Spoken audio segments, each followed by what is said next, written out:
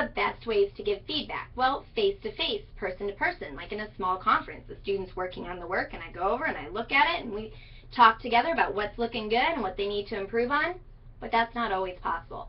I have a lot of students in my class or perhaps I'm on a uh, online blended environment and I just can't. I mean, there is definite restrictions that I have to consider.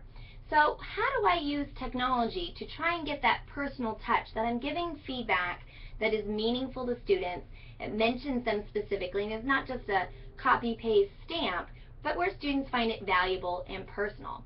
So that's where we want to try and look for technology to help with these issues.